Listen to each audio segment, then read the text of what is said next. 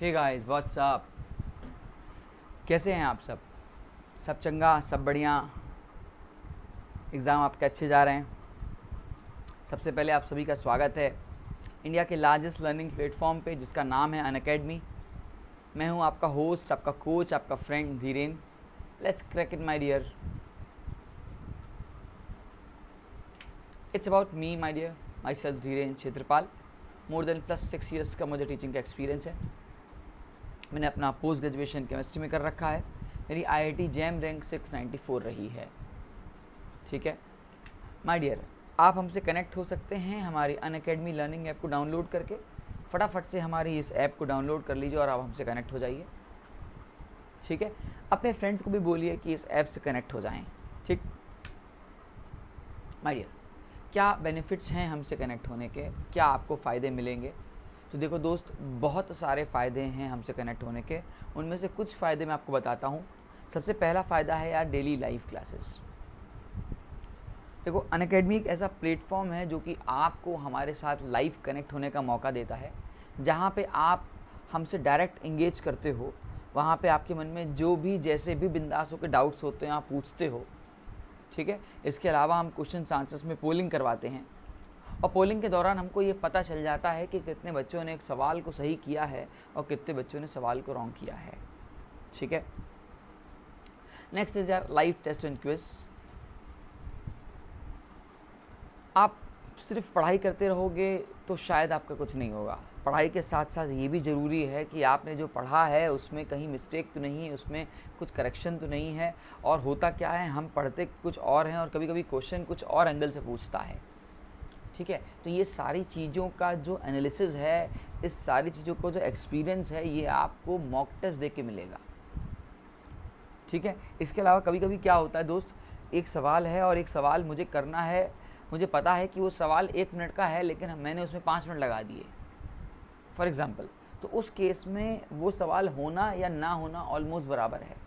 क्योंकि time management का बहुत बड़ा रोल होता है जब आप एग्ज़ाम में बैठते हो तो। ठीक है क्वेश्चंस की सिलेक्शन बहुत ज़रूरी है। मैंने बहुत बच्चों को देखा है, बहुत सारे बच्चों को देखा है कि फिजिक्स केमिस्ट्री कर रहे हैं बेचारे मैथ्स आते आते छोड़ देते हैं। द रीज़न बिहाइंड के पास टाइम नहीं बचता। जबकि ऐसे भी उनके दिमाग में सवाल होते हैं, सर, ये तो मैं तुरंत कर लेता। द रीज़न बिहाइंड कि उन्होंने समय का मैनेजमेंट ठीक नहीं किया टाइम का मैनेजमेंट ठीक नहीं किया, इस वजह से वो मात खा गए। और ये बहुत बड़ा रोल आपकी रैंकिंग पे इफ़ेक्ट डालता है। ठीक है? तो आपको मेरे हिसाब से रेगुलर बेसिस पे मॉक टेस्ट एंड क्विज देना चाहिए। और इस चीज़ का फ़ायदा आपको तभी मिलेगा जब आप हमारे ऐप को डाउनलोड करोगे, हमसे कनेक्ट होगे। तो हमसे जब भी कनेक्ट होंगे, आपको बहुत सारे मॉक टेस्ट देने का फ़ायदा मिलेगा और अपनी परफॉर्मेंस में अब इसको ग्रोथ लाना है, ये आपका काम है। ठीक है? तो फटाफट से हमारे जब ऐप को डाउनलोड करेंगे तो वहाँ पे आप मॉक टेस्ट की सीरीज़ में जाइएगा। अब वहाँ को आपको अच्छे अच्छे मॉक देखने को मिलेंगे। ठीक है? Next is our structured course plan my Unacademy का जितना भी प्लान है, वो कम्प्लीटली अपने आप में स्ट्रक्चर्ड मैनर में है। स्ट्रक्चर्ड मैनर में क्या है? कि आपके पास छोटे छोटे डाउट्स होते हैं, उसकी डीपीपी आपको मिल जाती है, आप उसको डिस्कशन करते हो माइनर टेस्ट होते हैं मेजर टेस्ट होते हैं फिक्स बैच होता है फिक्स टाइमिंग होती है। इससे क्या होता है कि आपका एक टॉपिक दूसरे टॉपिक से क्लैश नहीं करेगा, एक सब्जेक्ट दूसरे सब्जेक्ट से क्लैश नहीं करेगा और एक फिक्स शेड्यूल में सब कुछ चलता चला जाएगा। शेड्यूल का होना बहुत ज़्यादा ज़रूरी है। क्योंकि यार कोर्स अगर हम जल्दी ख़त्म करते हैं तो भी नाइंसाफ़ी है और देर से ख़त्म करते हैं तो भी नाइंसाफ़ी है। ठीक है? दोनों में ही लॉस है। तो हमको फिक्स शेड्यूल बनाना पड़ता है कि हाँ यार, इतनी क्लास इस टॉपिक में, इतनी क्लास इस टॉपिक में, इतनी क्लास इस टॉपिक में बच्चे के साथ इंटरेक्ट करते हुए लगेंगी। तो अगर आप शेड्यूल में रहोगे, आप एक स्ट्रक्चर्ड मैनर में रहोगे तो आपका हमेशा एक फ़िक्स टाइम पे कोर्स ख़त्म होगा और आपको रिवीजन करने का मौका मिलेगा। And no doubt revision is the key of success आप पढ़ तो लेते हो, लेकिन अगर आप at the end of the time revise नहीं करोगे तो ये सब कुछ वेस्ट है। ठीक है? इसलिए अपने आप को एक स्ट्रक्चर्ड वे में, एक शेड्यूल वे में बनाना बहुत ज़रूरी है। और इसका हम सबसे खासा ध्यान रखते हैं। ठीक है? Next is our unlimited access मुझे लगता है कि this is the beauty of this app सबसे अच्छी चीज़ मुझे लगती है, मेरा अपना ओपिनियन है इसको लेके। अनलिमिटेड एक्सेस का है। सबसे पहली खासियत ये है कि इनकेस अगर आप किसी रीज़न से आप हमारी लाइव क्लास मिस कर जाते हो तो आप हमारी रिकॉर्डेड क्लास को भी देख सकते हो। इसके अलावा इसके अलावा माय डियर अगर हमारे, अगर मैं बात करूँ तो हमारे अन अकेडमी कम से कम एन नंबर ऑफ़ फैकल्टीज़ पढ़ा रहे हैं। अब चूँकि एन नंबर ऑफ़ फैकल्टीज़ पढ़ा रहे हैं तो हर एक फैकल्टी अपने आप में यूनिक है और आपको हर फैकल्टी से पढ़ने का मौका मिलेगा। आप चाहो तो केमिस्ट्री दो से पढ़ो फिज़िक्स दस से पढ़ो, ये तुम्हारी मर्ज़ी है, तुम्हारे ऊपर है। तो इससे बड़ी बात नहीं हो सकती यार कि आपको इतने सारे फैकल्टीज़ मिल रहे हैं एक ही सब्जेक्ट के लिए और सब अपने आप में मास्टर मतलब कह सकते हो कि एक टर्म हम लोग यूज़ करते हैं कोटा फैक्ट्री तो पूरे पूरे एक से एक फैकल्टीज़ इंडिया के हमसे कनेक्टेड हैं इस टाइम और वो आपके पीछे आपका एक ही गोल है कि आपका आईआईटी निकालना है। तो इस अनलिमिटेड एक्सेस का फ़ायदा ये है, आप प्लान तो एक का लोगे, लेकिन क्लास किसी की भी एंट्री कर सकते हो। ठीक है? बहुत बड़ी बात है यार ये। अमूमन होता क्या है नॉर्मली या तो एक फैकल्टी होता है या तो दो फैकल्टी आपको मिलता है पढ़ाने को। यहाँ पे यार दस दस बीस बीस फैकल्टी से आप पढ़ रहे हो तो मतलब इससे बड़ी कोई बात नहीं है यार। ठीक है? और इन सारे बेनिफिट्स का फ़ायदा उठाने के लिए हमारी बहुत ही इकोनॉमिकल और बहुत ही अफोर्डेबल फ़ीस है दोस्त। मैं अगर मैं बात करता हूँ तो जो हमारी ट्वेल्व मंथ की फ़ीस है, वो है thirty eight thousand five hundred इसमें भी अगर आपको टेन परसेंट का डिस्काउंट चाहिए तो वो भी हम आपको टेन परसेंट का डिस्काउंट इंस्टेंट डिस्काउंट देते हैं। और ये डिस्काउंट आपको मेरे कोड से मिलता है। मेरा कोड है Dhiren that is D H I R N my dear after this code जो आपका अमाउंट हो जाएगा, वो हो जाएगा thirty four six five zero अब thirty four thousand six hundred fifty rupees only पे करके आपको इतने सारे बेनिफिट्स मिल रहे हैं। तो मुझे लगता है कि यार इससे कोई बड़ी बात हो नहीं सकती केमिस्ट्री में। मेरे पूरी एजुकेशन फ़ील्ड में इससे कोई बड़ी बात नहीं है। इतना कम अमाउंट इतना इकोनॉमिकल अमाउंट में आपको एन नंबर ऑफ़ फैकल्टीज़ मिल रहे हैं। तीन तीन सब्जेक्ट पढ़ने को मिल रहे हैं। यार, बहुत बहुत ही इकोनॉमिकल है ये। ठीक है? इसके अलावा दोस्त, अगर आप क्लास एलेवेंथ में हो तो आपसे रिक्वेस्ट है कि आप जो है मेरा ट्वेल्व मंथ की जगह हमारा ट्वेंटी फोर मंथ का प्लान लो। मैं ऐसा क्यों बोल रहा हूँ?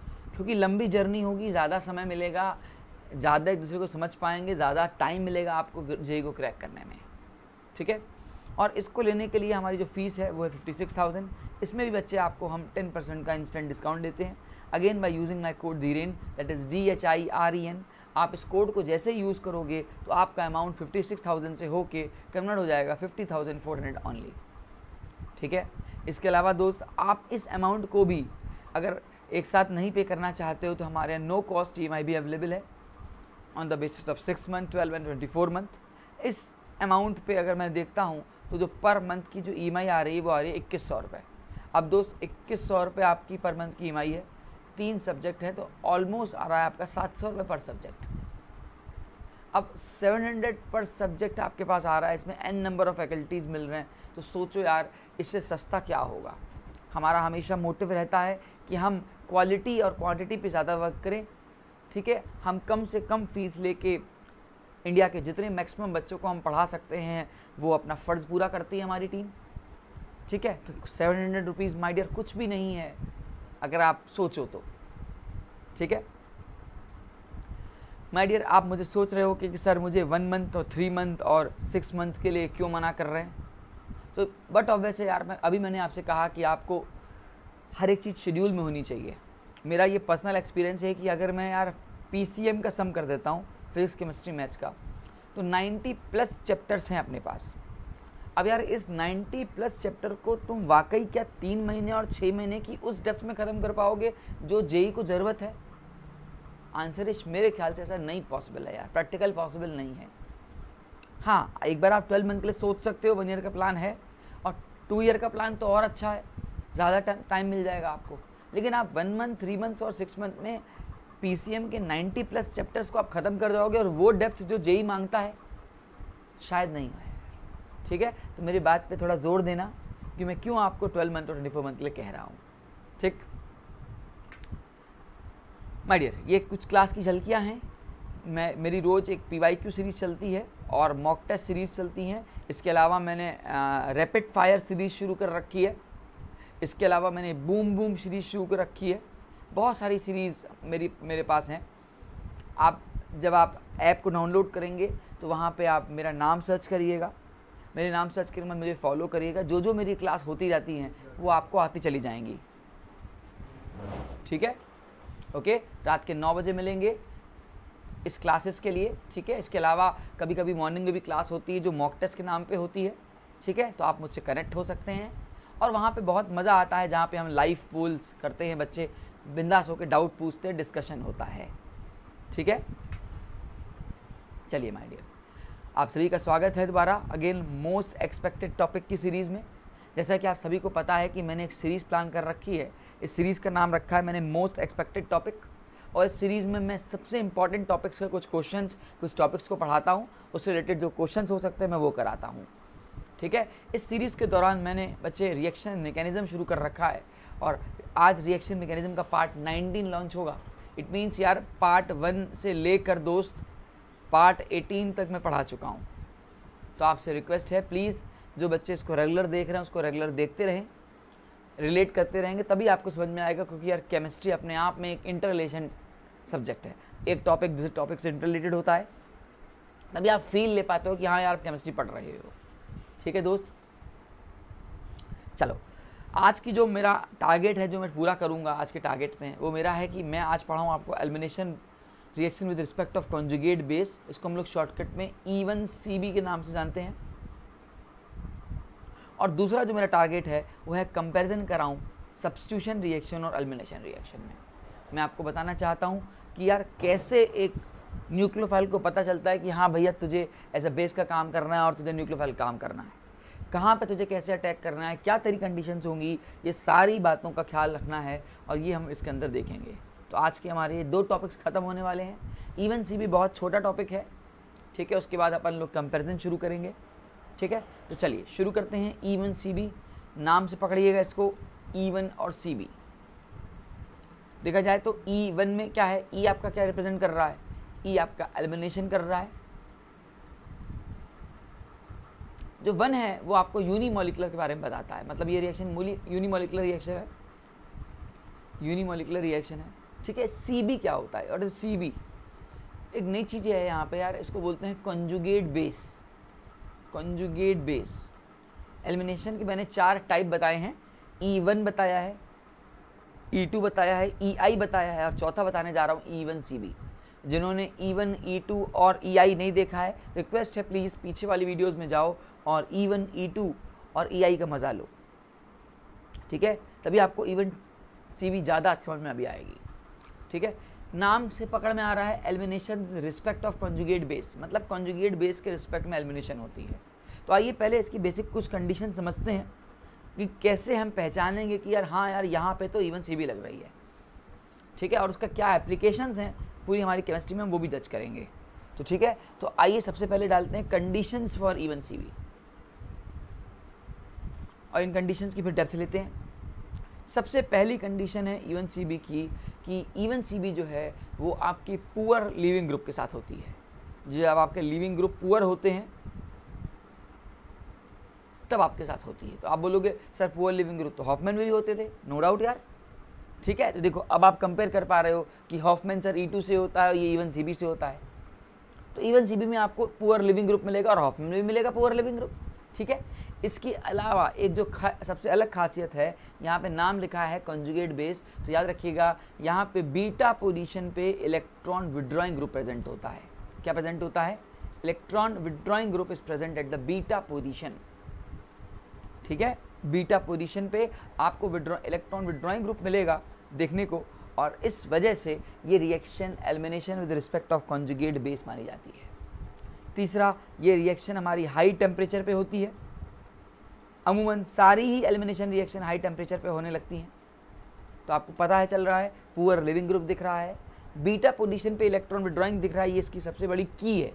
मतलब अगर आपको मेन पहचानना हो तो बीटा पोजीशन पे इलेक्ट्रॉन विड्रॉइंग ग्रुप देखेंगे आप। ठीक है? बाकी तो ये मैंने बताया कि हाँ यार, ये यूनिमोलिकुलर रिएक्शन है। ठीक है? ये यूनिमोलिकुलर रिएक्शन है।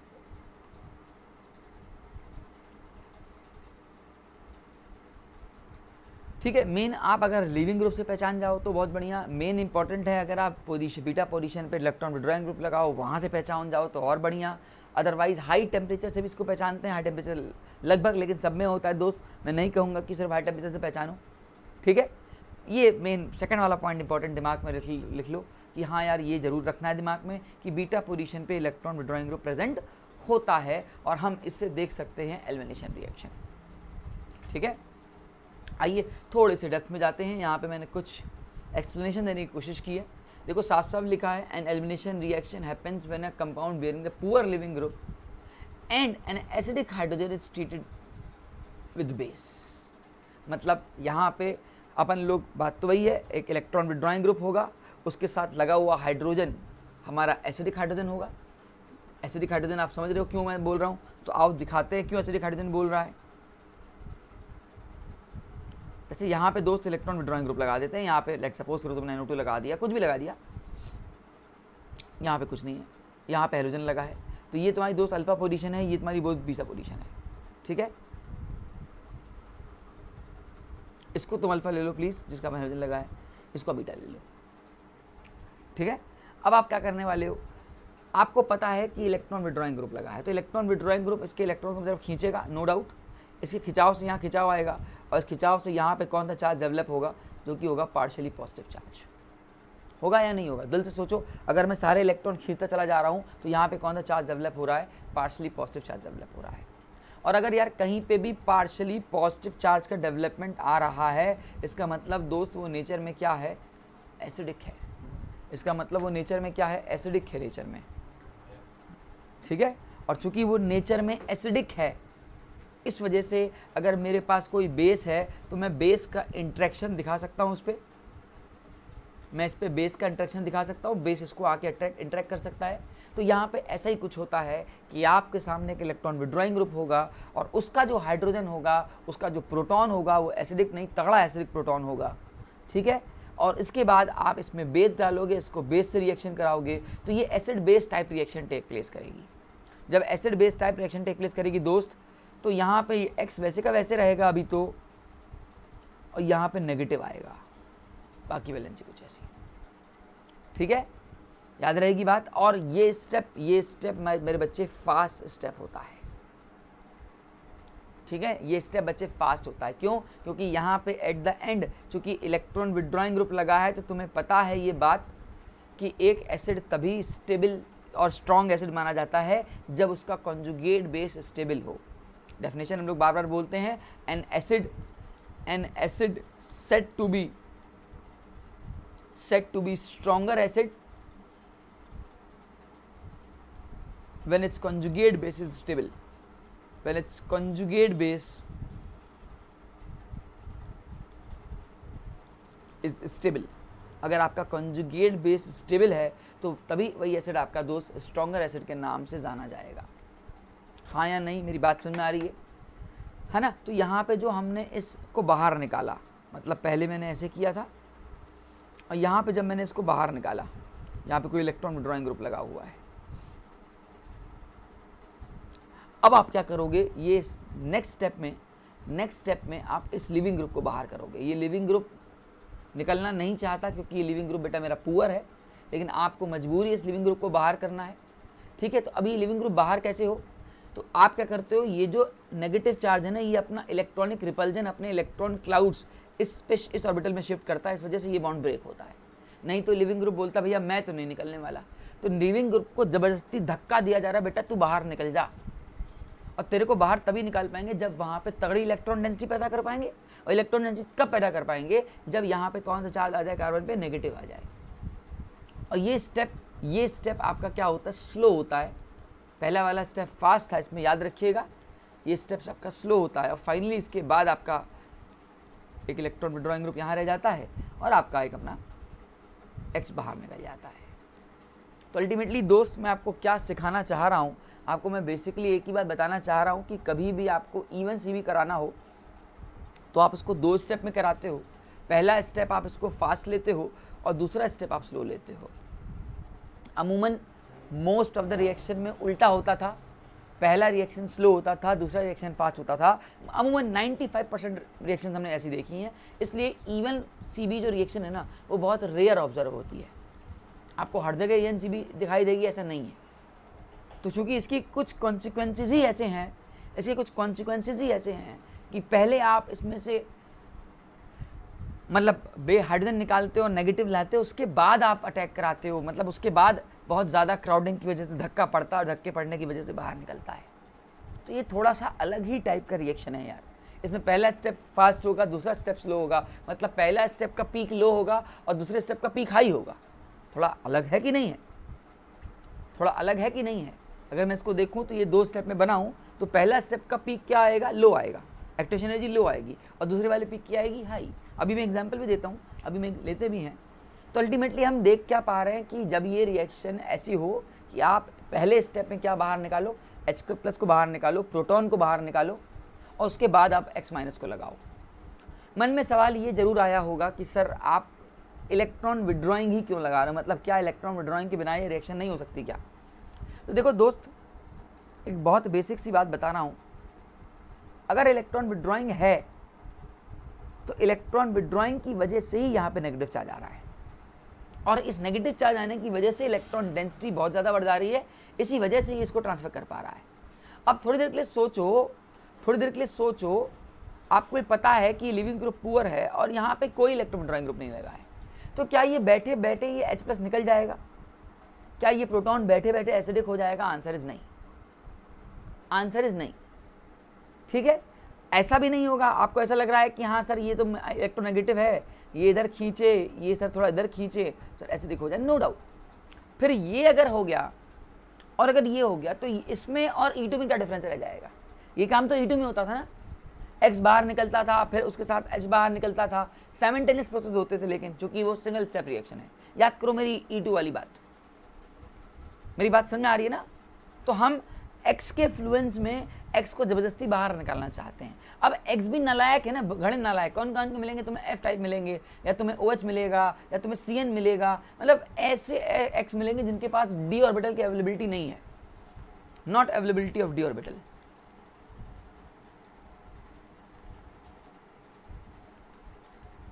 अब दोस्त, चूँकि डी ऑर्बिटल की अवेलेबिलिटी नहीं है, इसलिए ये निकलना अपने आप को पसंद नहीं करते। यहाँ से निकलने के बाद उतना स्टेबल नहीं है। यहीं पे अगर सी होता बी होता आई होता तो मैं नहीं कहता कि कोई बात नहीं यार, चलो रिएक्शन करो तो अगर आपको C L B R I दिख रहा है तो आप इवन सी भी नहीं सोचोगे। आप इवन सी भी सोचोगे ही तभी जब आपके पास फ्लोरीन हो ओ OH हो सी एन हो, या यूँ कहूँ पुअर पुअर लिविंग ग्रुप हो। और आप आप पुअर लिविंग ग्रुप पहचानते कैसे हो? तो जनरली पुअर लिविंग ग्रुप जो वो होंगे जो निकलने के बाद अनस्टेबल होंगे। भाई, मैं अपना बॉन्ड तोड़ रहा हूँ और बॉन्ड तोड़ने के बाद अगर मैं स्टेबल हूँ तो मैं बॉन्ड क्यों तोड़ूँगा? नहीं तोड़ूँगा ना बॉन्ड यार।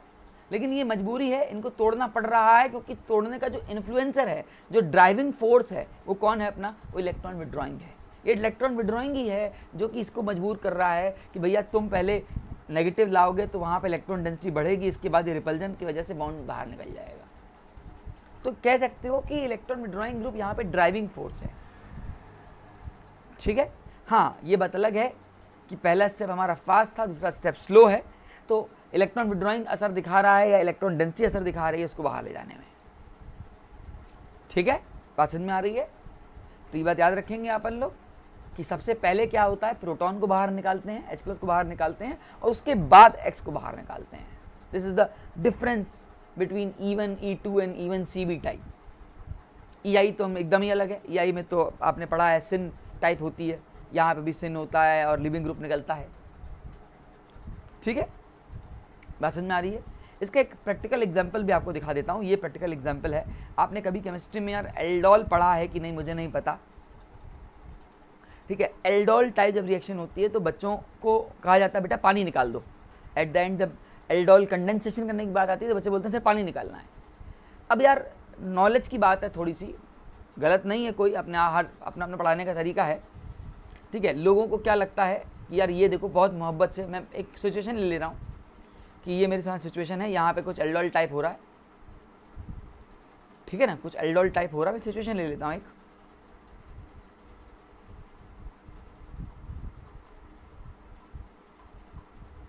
आपने भी पढ़ा हो अगर कहीं कि यार फंक्शनल ग्रुप है और फंक्शनल ग्रुप के मान लेते हैं यहाँ सी थ्री सी थ्री थोड़ी देर के लिए ठीक है ज़्यादा वैलेंसी हो रही है थोड़ी देर के लिए ये फंक्शनल ग्रुप ये अल्फ़ा ये बीटा और बीटा पे लगाओ हाइड्रोक्सी है ठीक है तो हम लोग क्या लोग क्या करते हैं सीधे बोलते हैं भैया अल्फ़ा वाला एच हटा दो और बीचा वाला ओ एच हटा दो और पानी बाहर निकाल दो तुम्हारा आंसर आ जाएगा नो डाउट आंसर आ जाता है नो डाउट दोस्त आंसर आ जाता है आंसर आने में क्या है लेकिन बहुतों को ये बात नहीं पता होती बहुतों को बहुत बच्चों के बात नहीं पता होती कि एल्डोल कर तो रहे हैं, लेकिन कंडेंसेशन करते टाइम वहाँ पे इवन सी बी मेकाजम लगता है। जेई में पूछा हुआ है कि एल्डोल कंप्लीट एल्डोल में कौन कौन सी मेकाजम लगती है?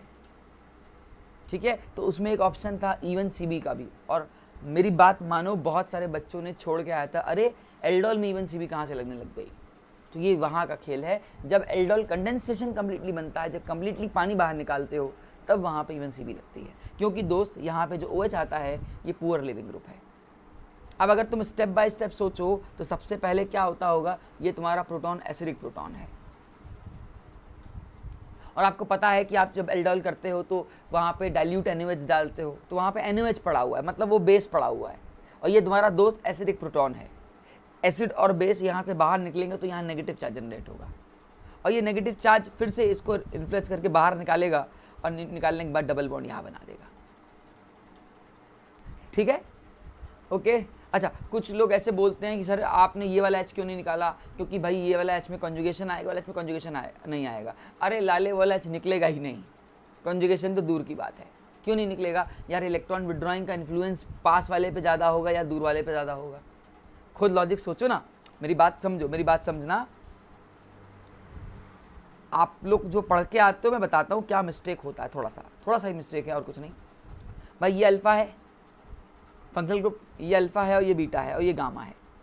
आपको ये तो फैक्ट है कि आप पढ़ के आते हो भैया बीटा से एच निकालना है नो डाउट अब आपके आप लोग क्या पढ़ के आते हो सर गामा से सर एच इसलिए निक, नहीं निकालेंगे कि सर उसको कॉन्जुगेशन नहीं मिलेगी।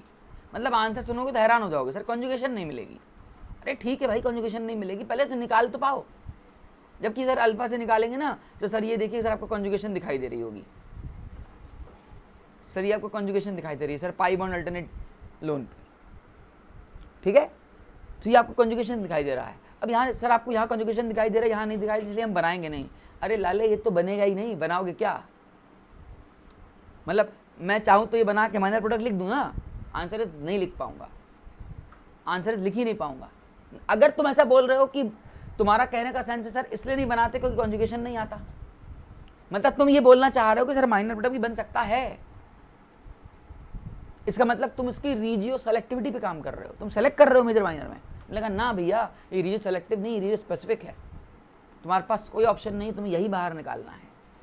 क्योंकि इसका इन्फ्लुएंस खुद सोचो माइनस आई इफ़ेक्ट कहाँ पे लगाएगा? यहाँ पे अल्फ़ा पे ज़्यादा लगाएगा या गामा पे ज़्यादा लगाएगा? दोस्त लॉजिक सोचना। आंसर इस अल्फ़ा पे लगाएगा। अल्फ़ा पे लगाएगा तो मजबूरी जब अल्फ़ा का एच यहाँ से निकलेगा, इसी के इन्फ्लुएंस में ये बाहर निकलेगा ना। मेरी बात समझ में आ रही है कि नहीं आ रही है? तो एक ही प्रोडक्ट बनेगा और वही प्रोडक्ट आपका मेजर होगा और कुछ मेरा मेरा कंसेप्ट ही नहीं है। मतलब ये रीजन स्पेसिफिक हो जाएगा। तो आप मैकेनिज्म तो करते हो रिएक्शंस तो पढ़ते हो, लेकिन आपको इंटरनल ये नहीं पता होता है कि कौन कौन सी मैकेनिज्म से वो गुजर रहा है। ठीक है? एल्डोल की बात करें तो एल्डोल आपका पहला आपका न्यूक्लियोफिलिक एडिशन से जाता है। उसके बाद आपका इवन सी भी लगता है। दोनों मैकेनिज्म एक साथ लगती हैं। ये मिक्स मैकेनिज्म का खेल है। ठीक है? मैं आने वाले सीरीज़ में एक नेम रिएक्शन की सीरीज़ बनाऊँगा, जहाँ पे सिर्फ़ अच्छे अच्छे नेम रिएक्शन होंगी, जो फ़ेमस नेम रिएक्शन होंगी, वहाँ पे फिर से इस बात को डिस्कस करूँगा। और सारी बातें मैं बिना मैकेनिज्म के करूँगा ही नहीं।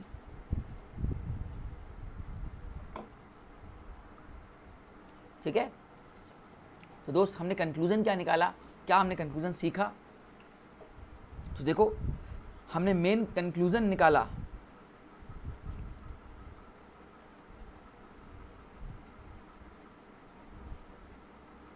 इवन सीबी का हमने मेन कंक्लूज़न क्या निकाला दोस्त?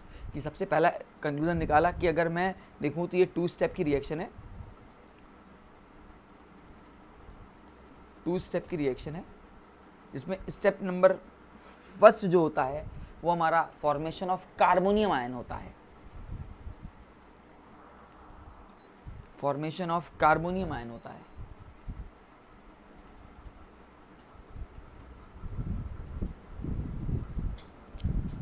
ठीक है? Under the influence of electron withdrawing group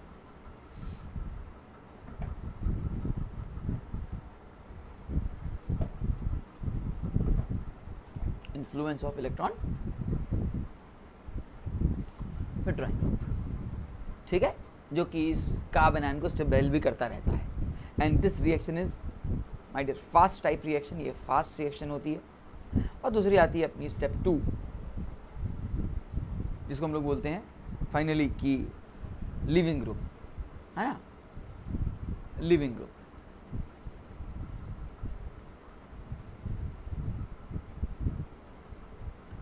ठीक है लिविंग रूम बाहर निकलता है। और ये स्टेप आपकी स्लो होती है।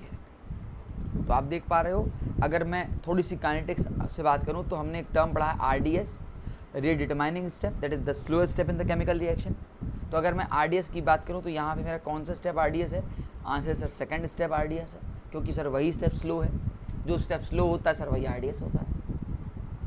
ठीक है? मेरी बात समझ में आ रही है? ओके? तो ये रिएक्शन पूरी पूरी डिपेंड करती है कॉन्जुगेट बेस के, पे जो निकलने के बाद जो लिविंग ग्रुप होता है उससे। पूरी बात लिविंग ग्रुप डिसाइड होती है कि लिविंग ग्रुप कैसा है। लिविंग ग्रुप फास्ट होगा तो रेट ऑफ़ रिएक्शन फास्ट होगी। लिविंग ग्रुप स्लो होगा तो रेट ऑफ़ रिएक्शन स्लो होगी। और वैसे भी यार लिविंग ग्रुप पुअर होगा तभी ये रिएक्शन का एक सिग्निफिकेंस और एक कॉन्सिक्वेंस भी है। अदरवाइज़ तो यार कोई काम का ही नहीं है तुम्हारा ई वन सी बी नहीं तो फिर ई आई और ई वन ई टू से क्यों ना काम चला लिया जाए? ठीक है? तो इसका बस एप्लीकेशन मैं आपको समझाना चाह रहा था कि क्या होता है, जैसे एल्डोल हो गया, और एक रिएक्शन तुम और देख सकते हो, जैसे मान लो, यहाँ पे मैं लगा देता हूँ कुछ ऐसा।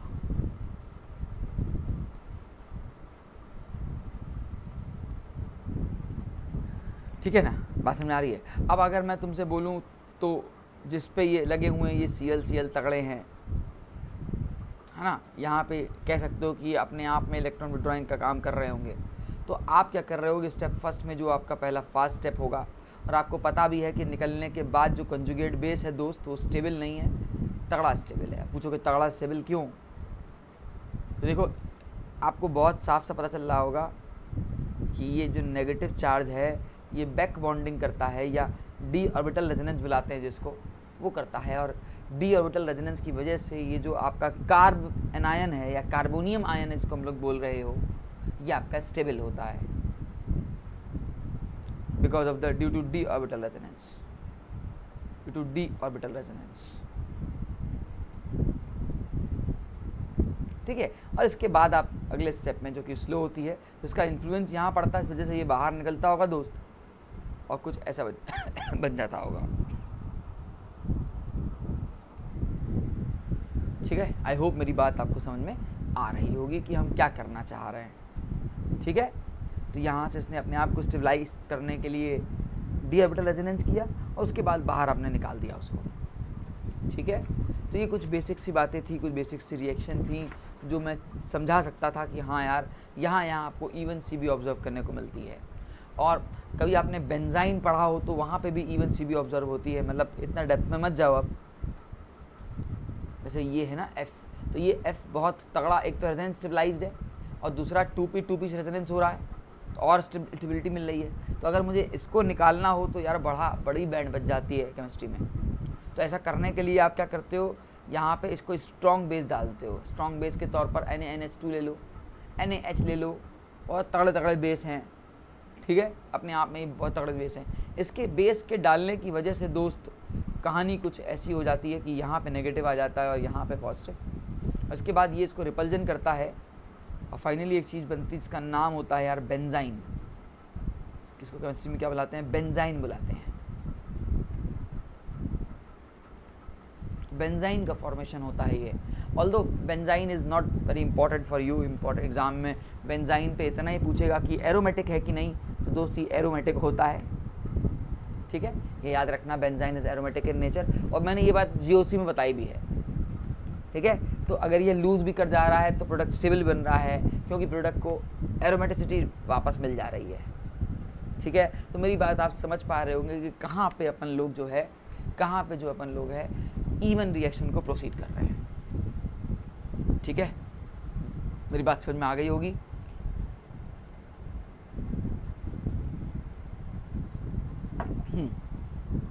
दोस्त, आगे बढ़ते हैं। जैसा कि मैंने आपसे कहा था कि मैंने आपको ईवन फिनिश करा दिया ई टू फिनिश करा दिया ई आई फिनिश करा दिया और ई वन सी भी फिनिश करा दिया। ये चार तरह की एलिमिनेशन रिएक्शन अपन लोग ने डिस्कस कर ली है।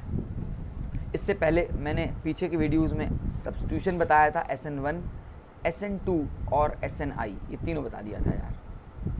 ये हमारे तीनों सब्सटीट्यूशन में बताई थी। और बहुत खुल के बताया है कि S N one S N two S N I कब होता है। ये सारी बातें मैं आपसे डिस्कस कर चुका हूँ। मतलब हम ये जानते हैं कि एलिमिनेशन रिएक्शन क्या होती है और हम ये जानते हैं कि सब्सटीट्यूशन रिएक्शन क्या होती है। अब सबसे बड़ा सवाल जो एग्ज़ाम में बहुत बार बच्चों को परेशान करता है कि सर सब्सटीट्यूशन करना है कि एलिमिनेशन करना है? ये ये केमिस्ट्री में अपने आप में एक अलग केमिस्ट्री है इसकी। मतलब अगर आप इसको कुछ बातों से पकड़ जाते हो तो समझ लो आपका क्वेश्चन क्यों ख़त्म हो जाएगा। मैं इसको बहुत इन डेप्थ नॉलेज में लेकर डिस्कस करूँगा, जो जो पॉसिबल हो पाएगा मेरे साथ। ठीक है? तो आप प्लीज़ इसमें हेडिंग डाल दीजिएगा comparison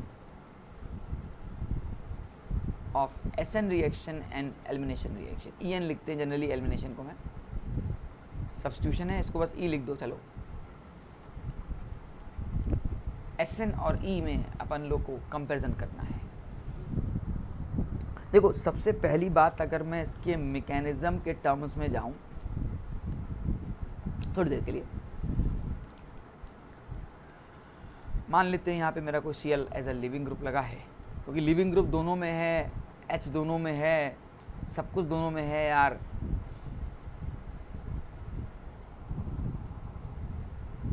एकदम सेम सिचुएशन जैसी की है, वैसे ही ले रहा हूँ। सबसे पहले पहले बेसिक बात बता देता हूँ कि कैसे आप पहचानते हो कि सब्सटीट्यूशन और एलिमिनेशन में डिफरेंस क्या होता है।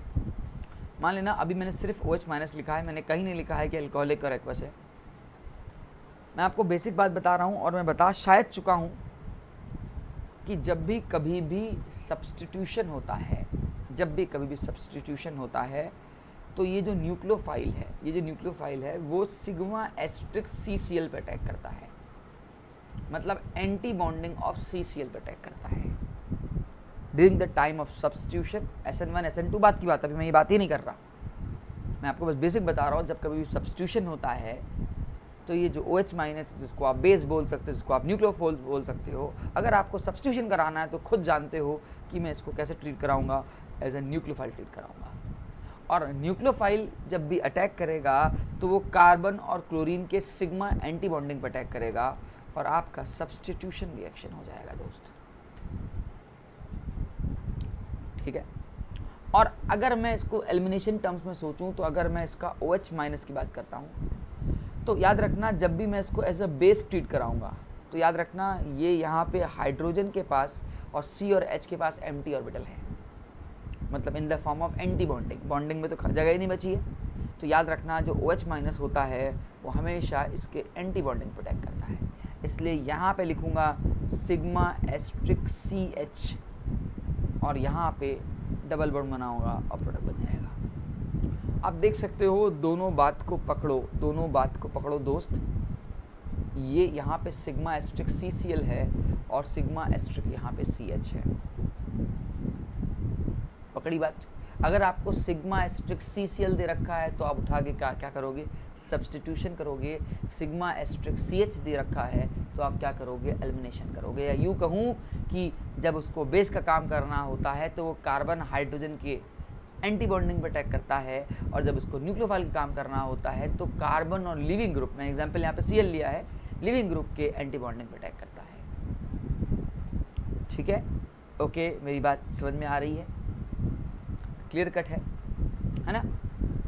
अब अगर मैं थोड़ा सा मॉलिकुलर ऑर्बिटल थ्योरी पढ़ाऊँ MOT तो एमओटी ये बोलती है कि अगर मैं एनर्जी लेवल में बांटता हूँ दोस्त तो यहाँ कहीं सिग्मा एस्ट्रिक होता है और यहाँ कहीं आपका सिग्मा एस्ट्रिक सी एच होता है। मतलब अगर मैं ये एनर्जी लेवल है दोस्त, ये मेरा एनर्जी लेवल है और ये मेरा रिएक्शन कोऑर्डिनेट है। यहाँ पे ओ OH माइनस द्वारा लेते हैं, जिसको तुम एज अ बेस बोल रहे हो और न्यूक्लियोफाइल बोल रहे हो। आप एक बात पर्सनली समझ चुकी होगी after this MOT basics MOT है, कि ये एनर्जी ये है और ये एनर्जी ये है। तुम बताओ, किस एनर्जी को अचीव करना ज़्यादा आसान है? किस एनर्जी को अचीव करना ज़्यादा आसान है? मन में तुरंत आया होगा हाँ सर, यहाँ की एक्टेशन एनर्जी थोड़ी देर के लिए आप ईवन मान लीजिए, यहाँ की आप ई टू मान लीजिए। तो ई टू सर ज़्यादा बड़ा है ईवन से। इसका मतलब मेरे दोस्त ईवन को अचीव करना ज़्यादा आसान है इसका मतलब टू ई टू के या इनडायरेक्टली बोलूँ कि सब्सटीट्यूशन कराना ज़्यादा आसान है एलिमिनेशन कराने से। या यूँ कहूँ कि देखो सब्सटीट्यूशन तुम्हारा लो टेम्परेचर पे ही काम हो जाता है और एलिमिनेशन में तुम्हें अक्सर मोस्ट ऑफ़ द रिएक्शन में हाई टेम्परेचर लगता है। तो असल में हाई टेम्परेचर हम दे के ये करते हैं कि इसको एक फोर्स ऑफ़ एनर्जी प्रोवाइड करते हैं कि जा बेटा, मैं तुझे इतनी एनर्जी दे रहा हूँ in the form of temperature increase करके कि तू इसके anti bonding of C H पे अटैक कर और एलिमिनेशन रिएक्शन को प्रोसीड कर। इसलिए बुक्स लिखती हैं कि जो सब्सटीट्यूशन होता है दोस्त, वो लिखती है कि सब्सटीट्यूशन हमारा लो टेम्परेचर पे चल जाएगा आरटी पे चल जाएगा रूम टेम्परेचर पे। लेकिन एलिमिनेशन के लिए मोस्ट ऑफ़ द रिएक्शन में आपने देखा होगा हाई टेम्परेचर या अंगीठी बन जाती है रिएक्शन में ऐसे बन जाती है, ऐसे मतलब टेम्परेचर की सिंबल बन जाता है। मैं इसको अंगीठी बुलाता हूँ एक्चुअली है ना? ये बन जाती है और ये आपको इन्फ्लुएंस दे रही है रिएक्शन को अटैक कराने के लिए। तो मैं क्यों ना ऐसा बोलूँ कि अगर रिएक्शन को आपको सब्सटीट्यूशन कराना है तो आपका टेम्परेचर लो हो या आरटी हो तो काम चल जाएगा। लेकिन अगर आपको एलिमिनेशन कराना है तो आपको टेम्परेचर हाई देना पड़ेगा as per M O concept ठीक है? बॉन्डिंग और एंटी बॉन्डिंग का कंसेप्ट है दोस्त। ठीक है? इसके पीछे भी रीज़न होता है कि इसका एनर्जी गैप क्यों कम होता है ज़्यादा क्यों होता है। But to be very honest दोस्त ये आई एडवांस में भी नहीं है कि मैं आपको बताऊँ कि इसका एनर्जी गैप क्यों कम होता है इसका एनर्जी गैप क्यों ज़्यादा होता है। बस आपको थोड़ा सा आ, मुझ पर ट्रस्ट करना पड़ेगा मेरी बात को मानना पड़ेगा कि हाँ यार हमें जो है ऐसा करना चाहिए कि सब्सटीट्यूशन के लिए मुझे ये रखना चाहिए एलिमिनेशन के लिए ये रखना चाहिए। अब आगे चल के हम ये भी देखेंगे कि अगर मैं किसी तरह से इस एनर्जी को कम कर दूँ किसी तरह से अब वो कम कैसे करूँगा वो आप खुद बताओगे। अभी अभी हम इवन सी पढ़ के आए हैं, है ना? हम बताएँगे आपको कि कैसे कम करेंगे। अगर मैं इस इस एनर्जी को किसी तरह से कम कर दूँ, इस गैप को थोड़ा कम कर दूँ तो ये अचीवेबल गैप हो जाएगा। मतलब उस टाइम आपका अगर हाई टेम्परेचर नहीं भी हुआ तो भी काम चल जाएगा। तो हम ये देखेंगे अंदर। ये हम देखेंगे कि अगर मेरे पास भाई हाई टेम्परेचर नहीं भी है तो क्या हम एलिमिनेशन नहीं करा सकते। हाँ करा सकते हैं। अगर मैं सिग्मा एस्ट्रिक सी एच की एनर्जी लेवल को एंटीबॉडी को कम कर दूँ तो। कैसे कम करूँगा वो हम अभी आगे देखेंगे। बट अभी हमारा मेन मोटिव ये है कि हम सब्सटीट्यूशन और एलिमिनेशन में पहचानें। तो हमने पहला ट्रेंड दिया इफ़ेक्ट ऑफ़ टेम्परेचर के नाम से। कि टेम्परेचर ने हमको ये बताया कि जब टेम्परेचर आर या लो पे होता है तो आप सब्सटीट्यूशन प्रोसीड करा सकते हो। और जब एलिमिनेशन होता है तो हाई टेम्परेचर लगता है और मैंने ये भी बताया कि हाई इसलिए लग रहा है क्योंकि इसका एंटी बॉन्डिंग ज़्यादा ऊपर है इसके एंटी बॉन्डिंग से। दिस इज़ द सबसे पहला फैक्टर कह सकते हो, है ना? दूसरा फैक्टर आता है रिएजेंट फैक्टर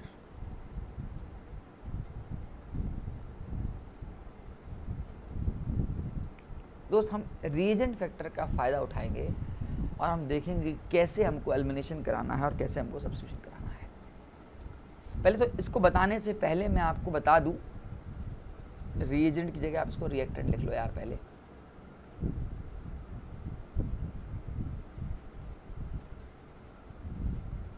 पहले तो मैं आपको बता दूँ, ये बात सबको पता है कि यार एस एन वन रिएक्शन और इवन रिएक्शन दोनों ही का जो ऑर्डर होता है वो थ्री डिग्री टू डिग्री और वन डिग्री होता है। इवन ई टू का भी three degree two degree one होता है। जबकि even sorry S N two का जो होता है, वो आपका क्या होता है?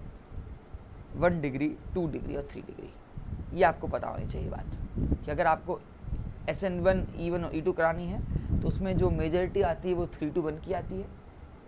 ठीक है? और अगर आपको एस एन टू करानी है तो उसमें भी आपकी वन टू थ्री आती है।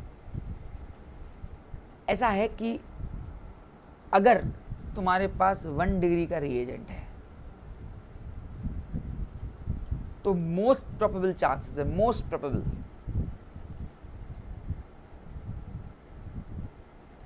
कि आपकी क्या होगी? एस एन टू होगी।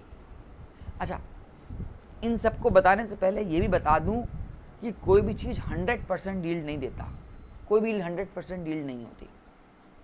कहने का क्या सेंस है कि ये कोई दावा करके नहीं ठोक सकता कि हाँ यार हंड्रेड परसेंट सब्सटीट्यूशन होगा या हंड्रेड परसेंट एलिमिनेशन होगा।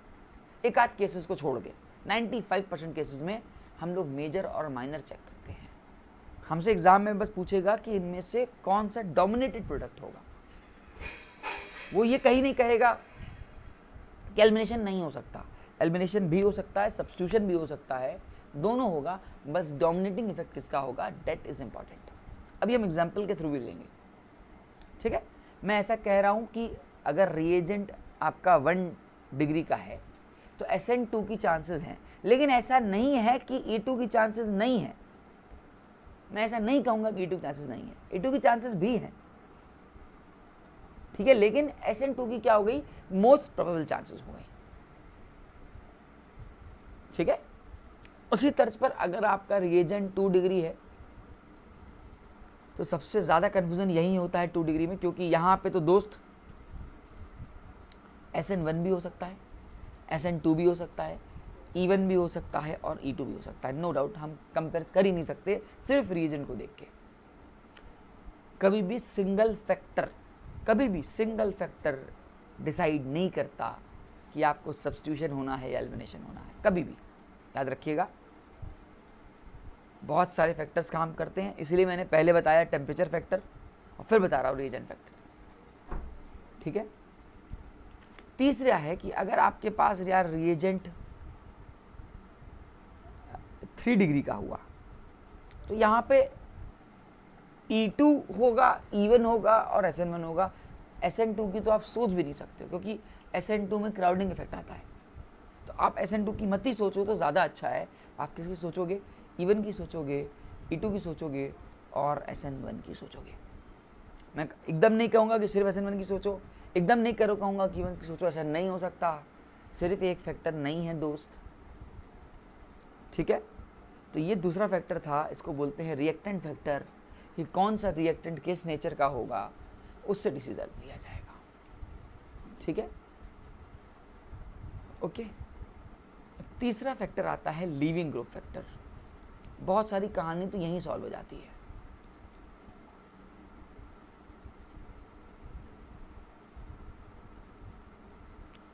देखो, अगर आपका पुअर लिविंग ग्रुप हुआ सच एज फ्लोरिन टाइप तो वहाँ पे मोस्ट ऑफ़ द चांसेस है कि आपकी ई टू एलिमिनेशन हो और ये भी चांसेस है कि हॉफ हॉफमैन नील डाई लेकिन चूँकि अभी भी हम दोबारा पढ़ के आए कि अगर पुअर लिविंग ग्रुप है but under the influence of electron withdrawing group है under influence of electron withdrawing group है तो अभी पढ़ के आए कि पुअर भी होगा और इन्फ्लुएंस ऑफ़ इलेक्ट्रॉन विड्रॉइंग होगा तो ई e टू की जगह क्या लग जाएगा? ईवन सी भी लग जाएगा। बट होगा एलिमिनेशन। होगा दोस्त एलिमिनेशन सब्सटीट्यूशन की यहाँ तुम नहीं सोचोगे। मतलब तुमसे ज़्यादा डेप्थ में पूछता है कि नहीं भैया, एलिमिनेशन में भी कौन सा एलिमिनेशन? तो तो ठीक है यार ई e टू होगा ई वन होगा ई वन सी भी होगा, बात की बात है। लेकिन अगर मैं तुमसे कहूँ, अगर मैं तुमसे कहूँ कि सब्सटीट्यूशन एलिमिनेशन में जज करो तो हाँ यार सब्सटीट्यूशन तो यहाँ पे नहीं होगा। अगर आपका लिविंग ग्रुप क्या है? पुअर है। ठीक है? लेकिन अगर आपका गुड लिविंग ग्रुप है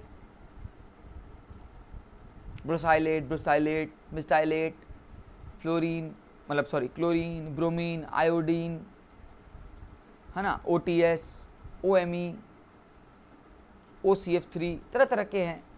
सब डिस्कस कर चुके हैं पीछे यार। अगर ये हमारे गुड लिविंग ग्रुप मिल जाते हैं तो यहाँ पे मैं नहीं कहूँगा कि ओनली एस एन टू होगा या एस एन वन होगा। कुछ भी हो सकता है। ईवन भी हो सकता है ई e टू भी हो सकता है, सब कुछ हो सकता है। है ना? तो मतलब यहाँ पे सब्सटीट्यूशन भी टेक प्लेस प्ले कर सकते हो और एलिमिनेशन भी टेक प्लेस कर सकते हो। ठीक है? तो अगर गुड लिविंग ग्रुप है तो आप डिसीज़न मेरे हिसाब से नहीं ले पाओगे। आए सब्सटीट्यूशन करना है एलिमिनेशन करना है। लेकिन अगर आपका पुअर लिविंग ग्रुप है तो दिमाग में एक बार तो ज़रूर जाएगा, अरे यार सब्सिट्यूशन तो नहीं होगा, चल एलिमिनेशन होगा, इतना तो गारंटी है कि अल्कीन बनेगी। है ना? तो बहुत बड़ा दिमाग का बोझा खत्म हो गया, दो ऑप्शन ऐसे कैंसिल हो जाएँगे सब्सिट्यूशन वाले। गारंटी है। बचेंगे, आपके पास जो ऑप्शन एलिमिनेशन वाले बचेंगे, उसमें से आपको टिक करना होगा। ठीक है? मेरी बात आप समझ पा रहे हो? लॉजिकली समझ पा रहे हो मैं क्या बोलना चाह रहा हूँ? Just one minute my dear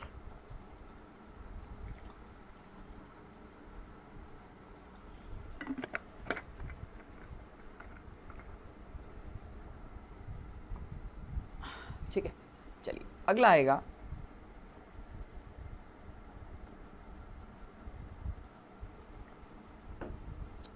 Effect of base and nucleophile the king way to identify कि सब्सटीट्यूशन होना है, कि एलिमिनेशन होना है। बहुत तगड़ा तरीका होता है ये। मैं आपको बता देता हूँ कैसे इसको पहचानते हैं कि हमको सब्सटीट्यूशन करना चाहिए या हमको एलिमिनेशन करना चाहिए। इसके लिए कंसेप्ट लगता है, उस कंसेप्ट को बोलते हैं ऑर्बिटल कंसेप्ट स्पीशीज किस ऑर्बिटल से बिलोंग कर रही है, उसका बहुत बड़ा रोल प्ले होता है। ठीक है? समझिएगा।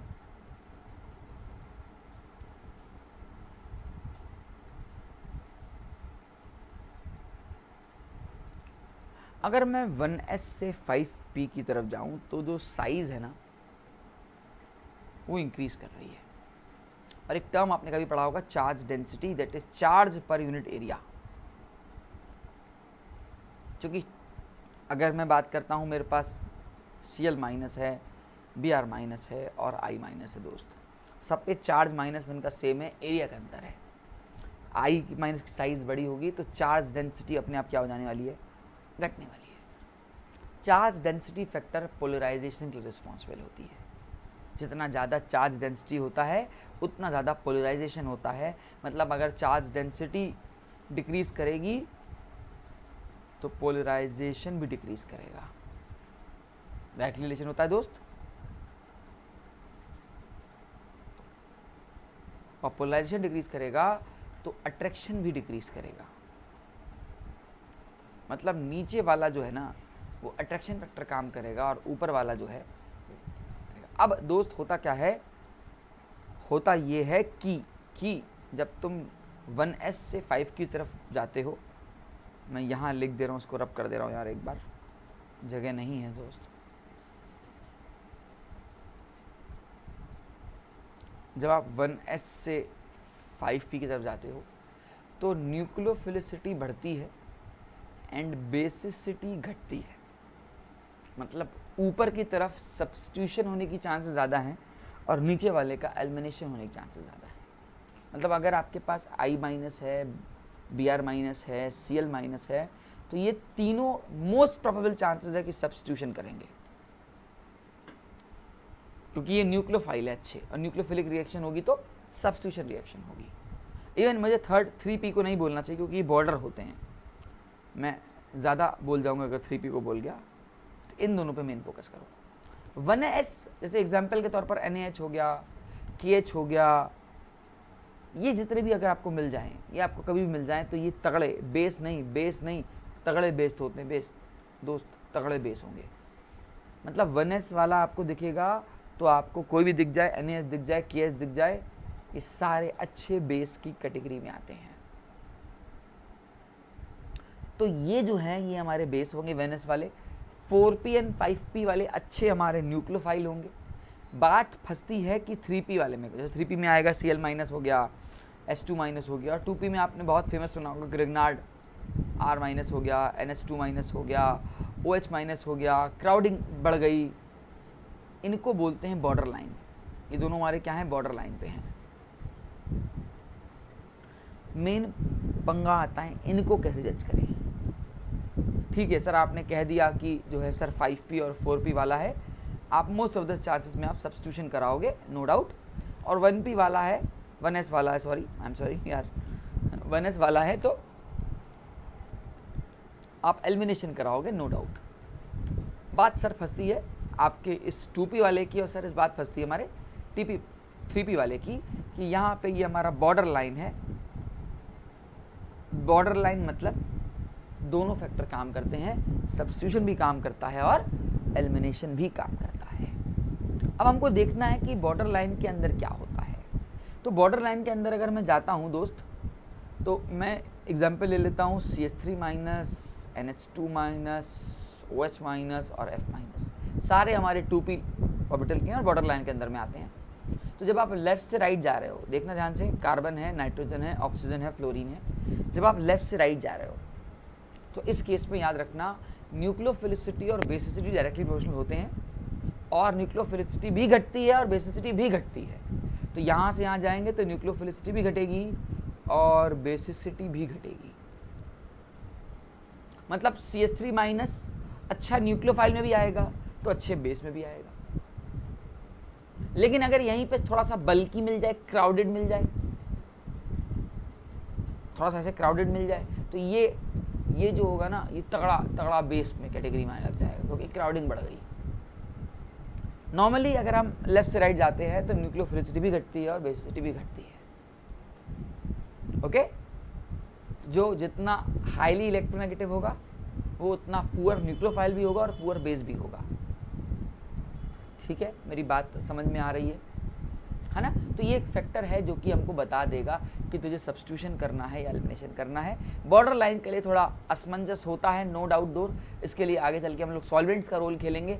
सॉल्वेंट डिसाइड करते हैं कि किसको क्या करना चाहिए। ठीक है? ये सारी बातें हम सॉल्वेंट्स के टर्म्स में सीखेंगे।